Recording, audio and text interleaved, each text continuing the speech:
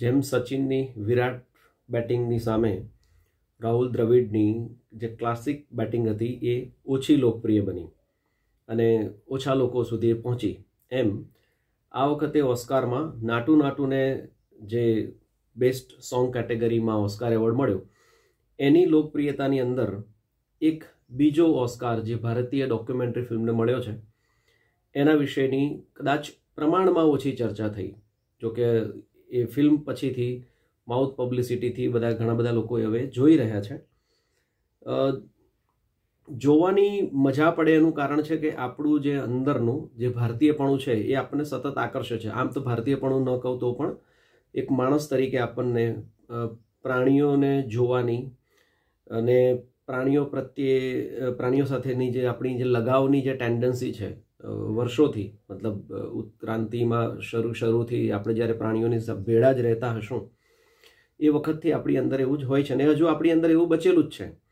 જેમ કે તમે સાવ નિરાતે બેઠા હોવ અને તમારી સામે જો પાંચ સાત ગલુડિયાઓ કોઈ ખેલ કરતા હોય, તો તમે એટલો બધો લાંબો સમય સુધી એમની સામે જોયા કરશો અને તમને એ યાદ પણ નહીં રહે કે આમાં મારો કેટલો સમય પસાર થયો.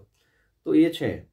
અને આ માણસ જ્યારે પોતાની કેપેસિટીથી ઉપર ઉઠીને કોઈ કામ કરી બતાવે, તો એવા એક માણસની વાત આમાં છે. તમિલનાડુનું જે નેશનલ પાર્ક છે, હાથીઓ માટે આરક્ષિત કરેલો, આમ તો એ વાઘ માટે પણ આરક્ષિત છે. નામ ભૂલાઈ ગયું, કારણ કે એક જ વાર મૂવી જોઈ અને પછી મિસ થઈ ગયું. પણ એની અંદર આકાર લેતી આ ઘટના છે. એક હાથની મૃત્યુ પામે છે અને એનું નાનકડું બચ્ચું છે, જે હવે અનાજ છે, નિરાધાર છે અને આ ડોક્યુમેન્ટરી જોયા પછી તો મને એવી કેટલીક વાતોની ખબર પડી કે હાથીઓનું પણ ઉછરવું કેટલું બધું અઘરું હોય છે. એટલે સામાન્ય રીતે બીજા પ્રાણીઓની જો માતાઓનું અવસાન થાય તો એ એ પ્રાણીઓ કોઈક ને કોઈક રીતે સર્વાઈવ થઈ જતા હોય છે, પરંતુ એક હાથીને મોટો કરવો આપણે ગુજરાતીમાં તો કહેવત પણ છે, હાથી પાળવો. તો એ હાથીને મોટો કરવો અને આ હાથીનું જે બચ્ચું છે, એને તો વળી કૂતરાઓ વગેરે ઘાયલ કરી નાખ્યું છે, એની પૂંછડી વગેરે પણ કપાઈ ગઈ છે. અને એવા બચ્ચાને, મતલબ હવે જીવશે એવી આશા લગભગ બધાએ છોડી દીધી છે, ઇવન ફોરેસ્ટ ડિપાર્ટમેન્ટે. પણ ફોરેસ્ટ ડિપાર્ટમેન્ટે પછી એનો ઉછેર અને એની સાચવણી કરવાનું કામ એક બોમન નામના માણસને, લગભગ સાહીઠેક વર્ષની ઉંમર જેવું દેખાય છે એવા એક માણસને આપવામાં આવે છે. એની સાથે બીજા કેરટેકર તરીકે જેના પતિનું મૃત્યુ એક વાઘના પંજાથી થયું હોય છે, એવી એક બીજી સ્ત્રી બેલી. યા બેલી. તો એ પણ એવી જ વૃદ્ધ સ્ત્રી છે અને એને બંને મળી અને આ બચ્ચાને ઉછેરવાનું શરૂ કરે છે. ધીમે ધીમે એમની જે નાની નાની ઘટનાઓ એ હાથીના બચ્ચા સાથેની છે, એ જોઈને આપણને એવું લાગે કે એ એ મદનિયાને નથી ઉછેરી રહ્યા, પરંતુ એક બાળકને ઉછેરી રહ્યા છે. જેમ આપણે બાળકોને કહેતા હોય ઓ ચલો, કોણ ઝડપથી ખાઈ જશે? કોણ વધારે સરસ છે? કોણ દોડીને મારી પાસે ઝડપથી આવી જશે? એવું આપણે જ્યારે બાળકોને જેમ કહેતા હોઈએ એમ એ હાથીના બચ્ચાને એવી એવી રીતે દિવસ રાત કેળવતા જાય છે. એની સાથે સતત વાતો કરે છે. અને વાતો સાંભળવાની આપણને પણ મજા પડે છે. હાથી સાથે ચાલવા માટે જવું એને નવડાવવા માટેની જે કસરતો થઈ રહી છે. એ ખાતો ન હોય ત્યારે કેવી કેવી રીતે સજાવટ, હાથીની જે સજાવટના છે, એના પણ બહુ સુંદર દ્રશ્યો છે. એ બંનેના સંબંધોની પણ બંને મતલબ આધેડથી વધુ ઉંમરના છે અને એક જગ્યાએ પર પેલી સ્ત્રી બોલે છે, પેલો ચૂલો ફૂંકતો હોય અને એમાંથી રાખ બધી ઉડતી હોય અને પછી બહારથી એ બૂમો પાડે છે, બોમન બોમન. અને પછી એ અંદરથી બૂમો પાડે છે કે ચૂલો ફૂંકું છું. મતલબ અંગ્રેજીમાં એ બોલે છે, પણ ગુજરાતી આપણે એનું એવું ચૂલો ફૂંકું એવું કરું છું. તો ચૂલો ફૂંકું છું.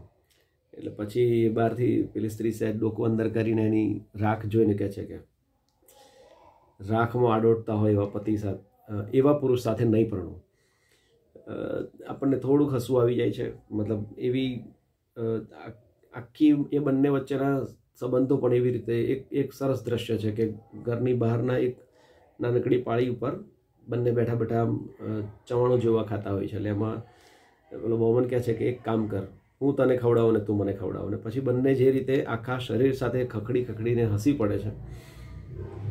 અને હા, પછી એ બંનેનું લગ્ન પણ થાય છે. એટલે એ પણ એક એલિમેન્ટ આવે છે કે આ આપણી સો કોલ્ડ રીતિ રિવાજોવાળી ને બધી શિષ્ટાચારવાળી દુનિયાથી દૂર, એ લોકો જે જંગલની અંદર કેટલી સહજતાથી એ વાતને સ્વીકારી લે છે બધા લોકો મંદિરે જાય અને બંનેના લગ્ન પણ થાય છે કે જે સામાન્ય રીતે આપણા આ જેને આપણે સુધરેલો સમાજ કહીએ છીએ એવા સમાજની અંદર એવા લગ્નો શક્ય નથી. મતલબ એ ઉંમરે કોઈ લગ્ન કરવાનો વિચાર પણ કરે અથવા તો પ્રસ્તાવ પણ મૂકે તો પણ મગજમારી થઈ જાય તો ખરેખર તો એ એ સમાજના એ દ્રશ્યોની પણ એક મજા છે. એક બીજી હાથણીનું બચ્ચું પણ અમુ ફિમેલ એલિફન્ટ પણ પછી એમને ઉછેરવા માટે આપવામાં આવે છે. એટલે ટૂંકમાં આ એક ડોક્યુમેન્ટરી છે ચાલીસ એકતાળીસ મિનિટ લગભગ ચાલતી ડોક્યુમેન્ટરીમાં કોઈ નાટકીય વસ્તુઓ નથી કરી, પરંતુ એની જે દ્રશ્યો ઝીલવાની જે રેન્જ છે, પહેલી જ વાર મેં નામ સાંભળ્યું છે કાર્તિકી ગોન્સાલ્વિસ. મને તો Anthony Gonsalves my name is Anthony Gonsalves સિવાય બીજું કંઈ ગોન્સાલ્વિસ સાંભળ્યું નહોતું. પરંતુ પછી એમના વિશે થોડું સર્ચ કર્યા પછી ખબર પડી કે બહુ કદાચ પચીસ ત્રીસ વર્ષના મહિલા છે અને આ એમને સેલ્ફ ટોટ મતલબ પોતાની જાતે ફિલ્મ ડોક્યુમેન્ટરી મેકિંગ શીખ્યું અને પછી આ બનાવી છે. પાંચ વર્ષ લાગ્યા છે. આ બધા દ્રશ્યોને એક એક એક કરીને ઝીલતા. અને દ્રશ્યો પણ કેવા કે એક દ્રશ્યમાં ડુંગરની ટોચ પર નીચે લટકેલા કંદરામાં લટકેલા મધ પૂડામાંથી મધ કાઢતા લોકોના દ્રશ્યો છે.